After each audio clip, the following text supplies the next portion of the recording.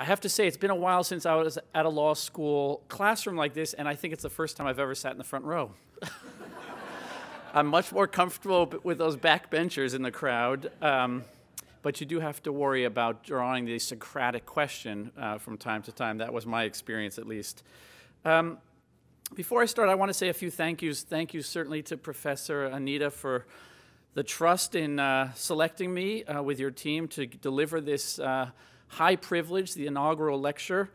Um, and your team, of course, Jennifer and Melissa. Thank you, Dean Anita and um, Vice Provost uh, Jeffrey.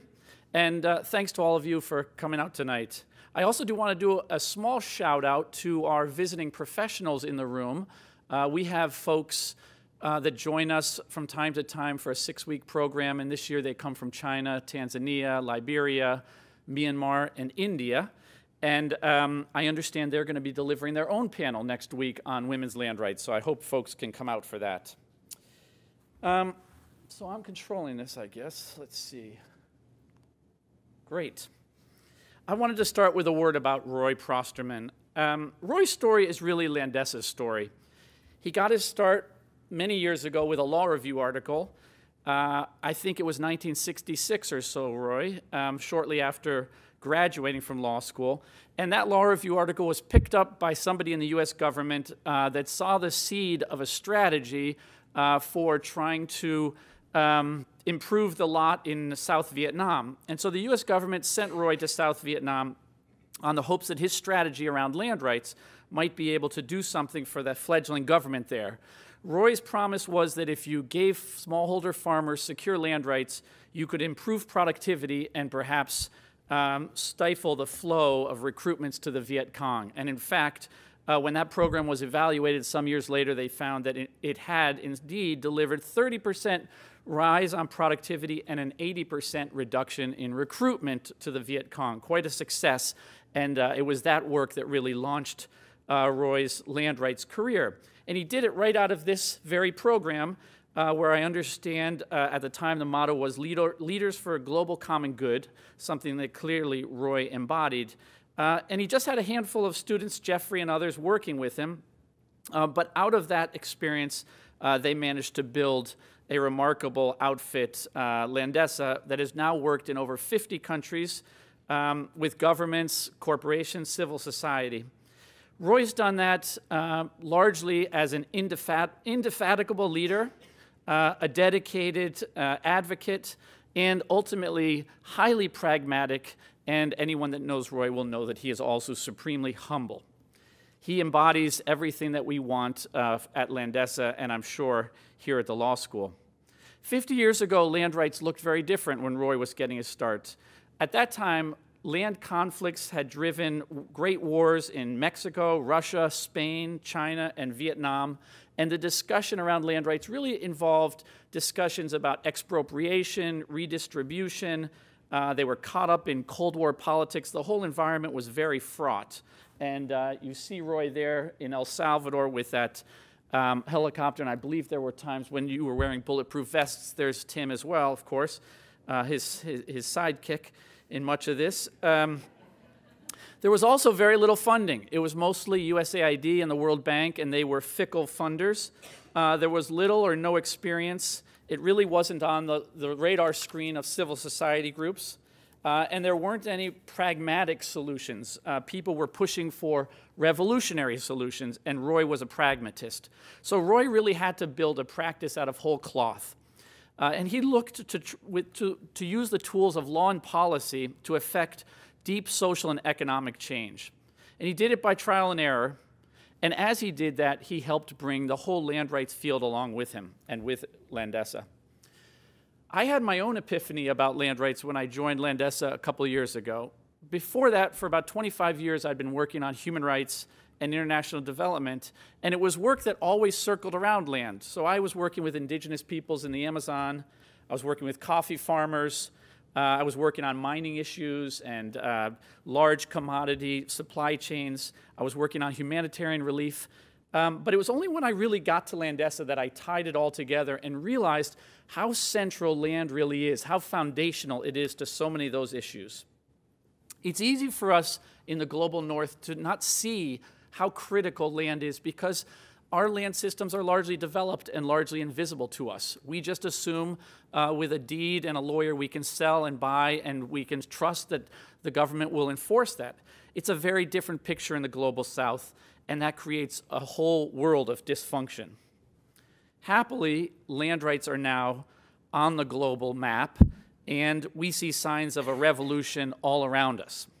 I'm going to talk about 10 of those signs today. First, we have to try to understand the scope of the problem. There's three things we know about the majority of the world's poor.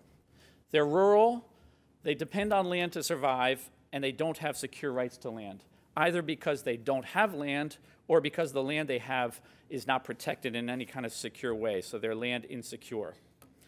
The best estimates say that about 10% of the land in rural Africa has now been titled, and as little as 30% of land globally has been documented. Without that documentation and that security, people, farmers face a powerful disincentive to invest. If they don't feel secure about the land, they're not going to invest in it for the long term. And that undermines productivity, livelihoods, and ultimately food security. So the first sign, oh, sorry. Our first sign is um, food security and livelihoods. Land rights helps boost investments, helps boost productivity, and ultimately uh, helps increase food security. Studies show that secure land rights have led to a 60% improvement on productivity in some cases and more than a doubling of income. In Ethiopia, when women had secure rights to land, food security increased by 36%, according to one study. And in Nepal, children of mothers with secure land rights were 33% less likely to be malnourished. Because of that, a few years ago, the largest global body dealing with food security, the UN Committee on World Food Security, spent many years drafting a set of norms on land rights of, uh, targeting governments and industry. And uh, as many of you know, the UN Sustainable Development Goals now includes land explicitly in goal number two, which is dedicated to ending hunger and achieving food security. The second sign of a revolution around lands is on sustainable economic growth. We now know that land rights are absolutely vital to macroeconomic development. Poor countries have an excess of farm labor, up to three quarters of their population in some cases. Supporting those farmers through land rights and ag extension allows the farmers to produce more, to feed themselves and their neighbors, and also to build demand for local markets. The Asian success stories, the Asian tigers, countries like Japan, Taiwan, South Korea, and ultimately China, have built their development around smallholder farmers.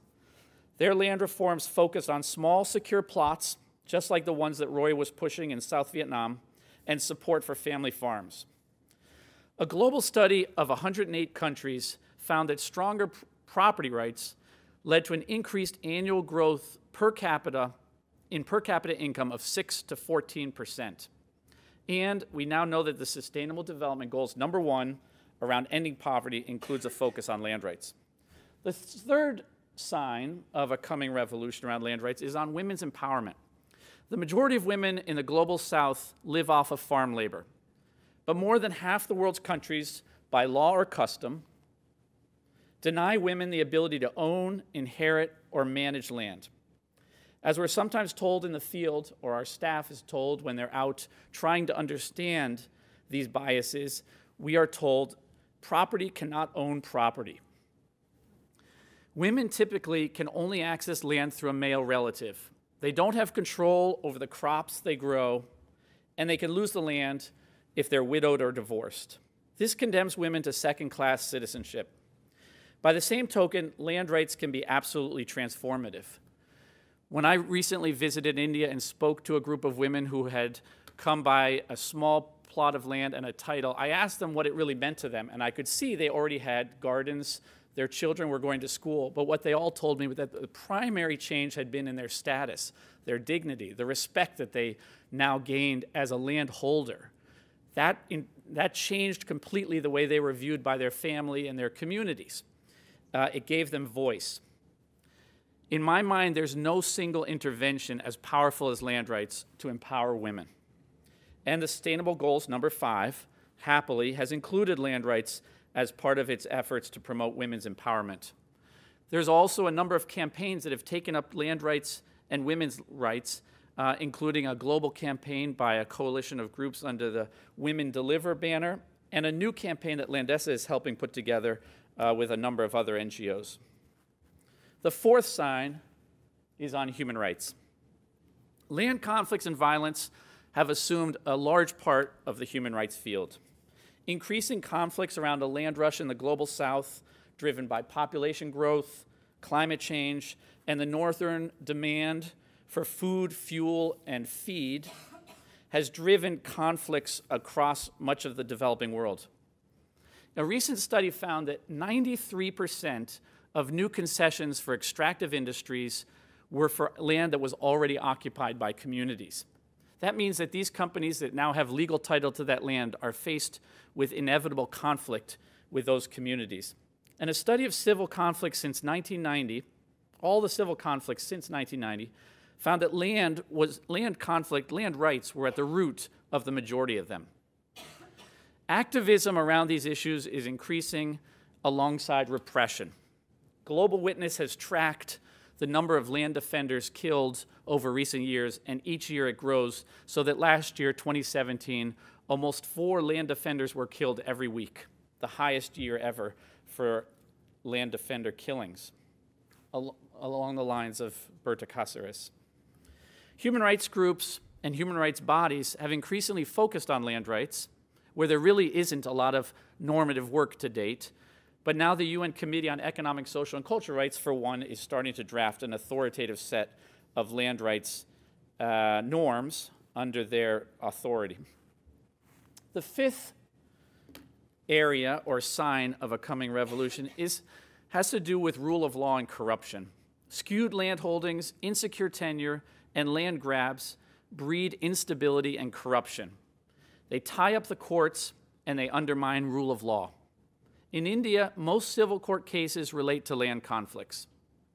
Transparency International reports that land agencies are among the most corrupt in almost all developing countries. Governments and donors increasingly recognize that land tenure is critical to mature governance. And leading organizations on rule of law, including the Seattle based World Justice Project, Nancy Ward here representing them, consider secure and accessible land rights to be a key pillar of promoting rule of law. The sixth area is indigenous peoples' rights.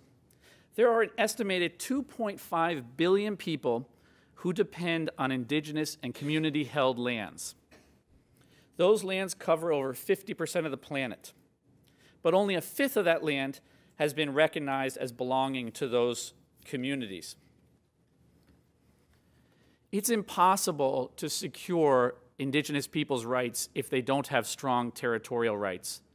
I spent many years in the Ecuadorian Amazon working with many communities that had been there for uh, centuries and were now facing the prospect of oil companies coming into their lands. They didn't have secure title, and as a result, every time the companies would come in and try to negotiate with those people, the asymmetries of power made it absolutely impossible to get any kind of a meaningful agreement. And so either the, the indigenous groups were cheated out of their land or they uh, rose up and fought against the companies, in many cases provoking the kind of conflict and violence we were just talking about. Territorial rights have long been at the front of indigenous peoples' concerns, but more recently, they've been joined by hundreds of organizations. And in one campaign, at least 500 organizations have joined uh, to promote uh, the doubling of land under indigenous and communities uh, in a campaign called Land Rights Now. The seventh sign of a coming revolution has to do with conservation and climate change. When people feel insecure about their land, they have little incentive to protect it. And on the contrary, they have an incentive to scavenge. Individual farmers with secure rights are far more likely to take the kind of climate smart measures that are now being promoted uh, by many governments, including water and soil conservation, drought resistant crops, responsible fertilizer use, and the like. But when we spoke to women recently in northern Ghana about the lands that were degraded by climate change, they asked us, why would we invest in our land if doing so would only increase the chances that our husbands would take it back for themselves the next year? Without that secure, security around land rights, farmers don't have the incentive to adopt the kind of solutions that we need in order to protect the land. That link between land rights and climate change is even more important when it comes to collective rights. Evidence shows that community rights, collective land rights, are the best defense against deforestation. Indigenous peoples and local communities manage a quarter of the total carbon stock that's held in the world's forests, but they need the rights and the capacity to protect those forests. Happily, the UN Framework Convention on Climate Change has finally established a local community and indigenous peoples platform out of a recognition of the important, ro important role they play and similarly, REDD Plus, which is the UN scheme to promote carbon sequestration, has now focused squarely on land tenure. The A sign has to do with humanitarian crises and response. Insecure land rights lead people to behave in ways that would seem unreasonable. They refuse to evacuate when they're facing environmental threats. We've seen it in many countries, including in India, where people on riverbanks that are prone to floods won't leave them. In Orissa in 1999, a cyclone killed over 10,000 people, and a third of them had stayed longer because they thought it was, a, when they heard the warnings, they thought it was a plot to evict them. The lack of title also makes it impossible for humanitarian organizations and governments to rebuild after disasters like the Asian tsunami the Haitian earthquakes or the recent hurricanes in Puerto Rico. In a survey of major humanitarian groups, land insecurity came out near the top of the major obstacles, both for disaster resilience and for reconstruction. And what's remarkable is I worked for 10 years at Oxfam, and I never was aware of how critical a role land played in, in our humanitarian work. But recently, Oxfam too has invested in land rights. And just two years ago, Landesa was awarded the largest humanitarian award, the Hilton Prize, which was a sign of the coming importance placed on land rights by the humanitarian community. Bringing us to our ninth sign smart urbanization. We all know that urbanization is increasing, but city planners across the global south are stymied by a lack of secure land rights and a, a, a, lack of effective registries. 60 to 80% of African city dwellers lack secure property rights. And that leads to illegal and unplanned urban sprawl, massive slums, forced evictions, and conflict. The UN's new urban agenda is all about land rights. And the UN Special Rapporteur on the Right to Housing and Forced Evictions has also taken up the banner of land rights.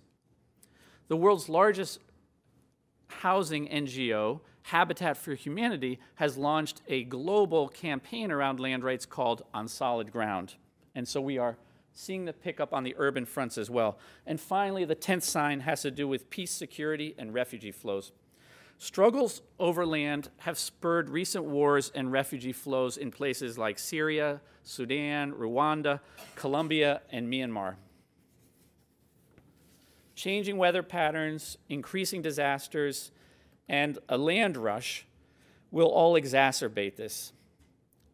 It's estimated that 25 million to up to 1 billion environmental refugees uh, will be fleeing their lands by 2050. For governments, land insecurity poses a constant threat of conflict and civil war. And for the global community, it poses a threat of instability and refugee flows. So, those are 10 things. What I remember about law school is you can only remember three. So we're going to group all of them into one big bucket here, and I'm just going to end with three takeaways. The first thing is that land rights is clearly on the global agenda. I've mentioned a few times the Sustainable Development Goals. It's worth remembering that in the prior set of goals, the Millennial Development Goals, the MDGs, land didn't appear even once. And now it's spread throughout the Sustainable Development Goals. That is, in, in, some ways, the most evident recognition by the international community of the importance of land rights. But we also see it at things like the World Bank Land and Poverty Conference, which we, many of us attended last month, I guess, where I think there was close to 2,000 people taking part in an event that Jolene tells me was just a handful of folks when it first started um, some years ago. Land is of great interest across the international community. It's also of great interest to, the government, to various governments. Landesa is approached by too many governments than we can handle uh, to help with land reforms, most recently in places like Myanmar and in, Zimbabwe. And in the Africa Union, there's been a commitment made that 30% of land should be in women's hands by 2025. We also see this interest amongst the business community.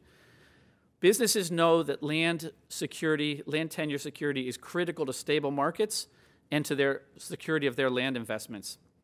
And they've come together to promote progressive, forward looking land rights, which is remarkable. I spoke to a mining company recently that told me that in Suriname, they had publicly spoken to the government about the need for stronger land rights and free, prior, and informed consent, which is sort of a remarkable development when you think about it that companies now have become champions of land rights. We also see it across new constituencies. The 10 signs means 10 new constituencies environmental, women's rights, human rights, indigenous peoples, uh, humanitarian organizations. And finally, the media is picking up on land rights. And now there's a dedicated platform called Place by Thomson Reuters that puts out hundreds, if not thousands, of articles around land rights every year. That's the first piece of good news of three. The second is that we've seen a boom in evidence, in tools, in innovations, and in resources going to land rights. We now have a strong evidence base, something that Roy really didn't have when he first started out. And data is always a challenge for us. But now we have unified indicators around land security. And we have multiple efforts to collect information through the World Bank, through the Sustainable Development Goals, and through private efforts like something called Prindex, which is also trying to understand the scope of land insecurity. We also have proven models. At Landesa alone, we've worked on evidence-based models around microplots, around grassroots legal assistance, community mapping, women's support centers, alternative land dispute mechanisms. There's a whole range of proven models now around uh, how to address some of the dysfunctions in, in land. And now there's new technology. There's mobile apps, there's drones, there's blockchains, there's global mapping systems. And finally, happily, there are new donors and resources for this work. There's even a land donors network of governments. That's the second bit of good news. And the third and final one, really speaking to many of you in the audience here, this is a great space for lawyers. It's fitting that we're giving this speech at UW which incubated and spawned Landesa and all of the great work of Roy and his team. Land rights demonstrates a fascinating connection between law, human behavior, and international development. It's one of those arenas where you can really see how law affects both governments and populations. And finally, law provides a, an amazing opportunity for aspiring lawyers to work in what is still somewhat new terrain, using law as a tool for systemic change at the global and national level, but also tangible change at the local level. And at Landesa, this has been uh, another epiphany for me. I always thought you were either doing legal services and you get one to one contact with people, or you're going for systemic change. But with land rights, we're able to work on both the government reforms and we can see those pattas or land titles delivered to people uh, in person. And we can work across so many of today's most important challenges. With that, I just want to thank you and uh, invite the next speaker up here.